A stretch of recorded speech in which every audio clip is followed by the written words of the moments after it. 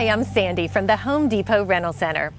When you need to tackle tough jobs in tight spaces, we offer the Kubota U17 mini excavator. It features maximum digging performance and can dig to depths of up to seven and a half feet. Additionally, it has a two-speed travel switch, allowing you to maneuver around your job site more quickly than ever before. Now, before operating the excavator, make sure to read and understand all operating and safety instructions found in the operator's manual as well as posted on the unit.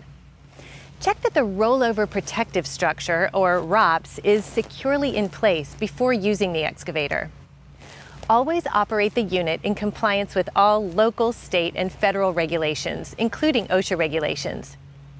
As with the operation of any power equipment, you must wear the proper safety gear. Do not wear loose-fitting clothing, jewelry, or anything that could become caught in the machine during operation. When operating, be sure to wear personal protective equipment such as a hard hat, safety shoes, hearing and eye protection, and work gloves as appropriate and as required by your job site.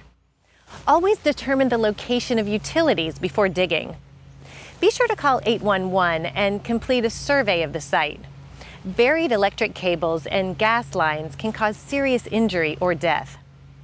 Only operate the machine in a well-ventilated area.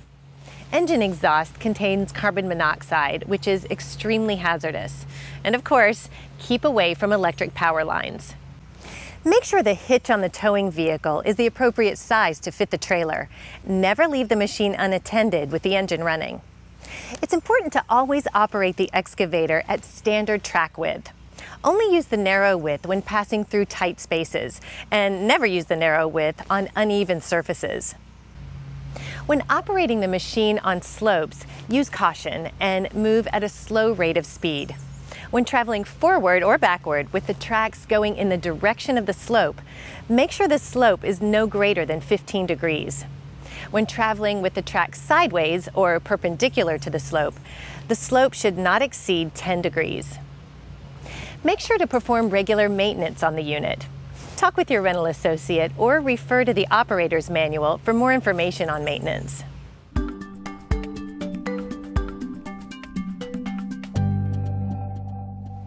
It's important to familiarize yourself with the controls of the machine before operating.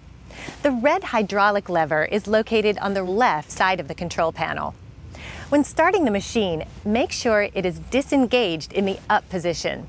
Once the machine has started, push it down to be able to use the hydraulic arm of the excavator. The excavator features a two-pattern selection system. For the purposes of this video, the controls will be shown under pattern B. To operate with this pattern, make sure the pattern selection lever under the left floorboard is in pattern B. Consult the operator's manual for more information on switching between operating patterns. In pattern B, the right attachment control lever operates the boom and the bucket. Push it forward to move the boom down and pull it back to raise the boom. Move the lever to the left to dig with the bucket and move it right to dump.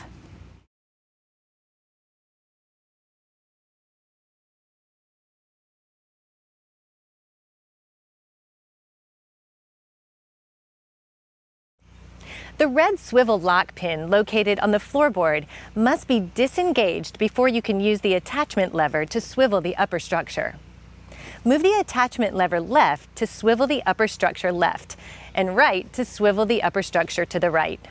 In pattern A, the right lever would operate the arm and the bucket, and the left would operate the boom and the swivel of the upper structure. Be sure to consult the manual and talk with your rental associate for more information. The boom swing is controlled by the boom swing pedal near your right foot. Step on the left side of the pedal to swing the boom to the left and on the right side to swing the boom to the right. The throttle lever is located on the right side of the operator's seat. Push the throttle forward to run and pull it back to idle. The track width change dozer select lever is located on the right side of the seat. To change the width of the track, pull this lever up. Then Pull back on the track width control lever to decrease the width and push it forward to increase the width. When you wish to operate the dozer, push the track width change dozer select lever down. The dozer control lever is the same as the track width lever.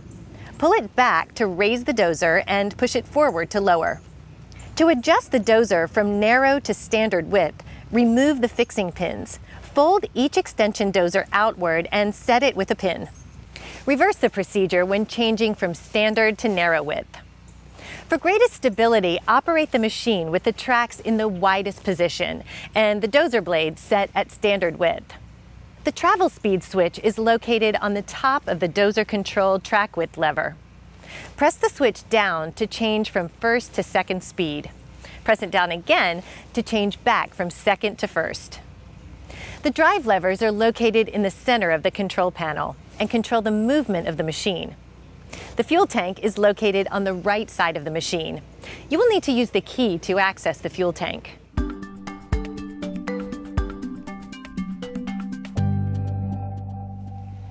Always perform a thorough walk-around inspection before using the machine.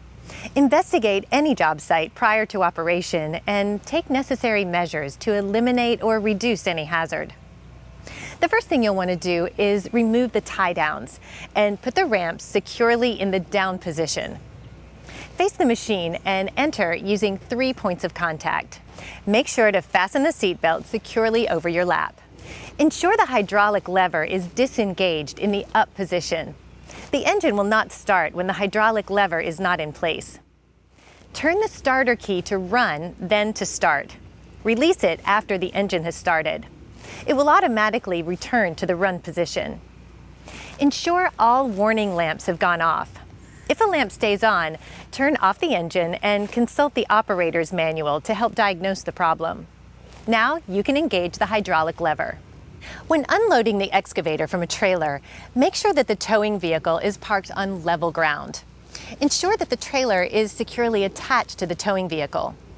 Always make sure the ROPS is securely in place and the seat belt is securely fastened before operating the machine. Ensure the ramp is clear of any materials that may cause slippage and align the machine with the loading ramp. Disengage the swing lock pin and raise the dozer and bucket enough to clear the ramp. Pull the drive levers back and slowly ease the excavator off the trailer. Have another person act as a guide to help the machine operator back the unit down the ramps.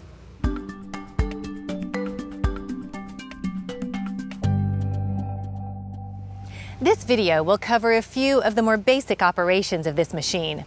Talk to your rental associate and consult the owner's manual for more information on additional uses. To begin, push the throttle forward to increase the engine speed. Ensure the bucket and blade are raised above the ground. Push the drive levers forward to move the machine forward and pull them back to move in reverse. To steer left, push the right drive lever forward and pull the left lever back. Conversely, to steer right, push the left lever forward and pull the right lever back. Never operate the bucket while traveling. To stop the movement of the machine, return both the right and left travel levers to neutral. To start digging, make sure the blade is lowered to the ground. Now engage the arm cylinder. About halfway through the digging cycle, start the bucket curl while continuing to curl the arm in.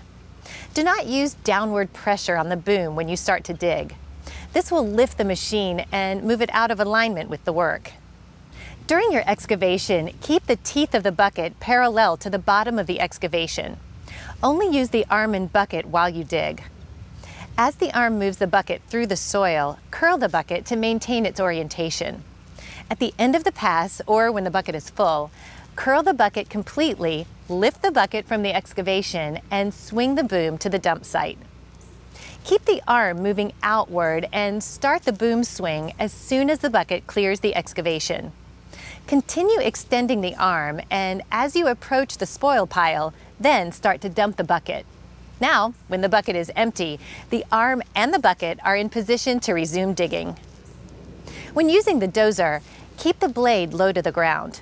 Drive slowly to push the material in the direction you're traveling.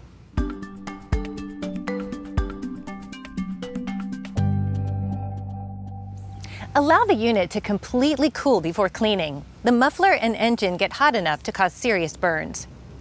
Once the unit has completely cooled, remove dirt and debris. use water to rinse off loose debris. Avoid directly spraying water into or onto the engine muffler, carburetor, and air cleaner areas.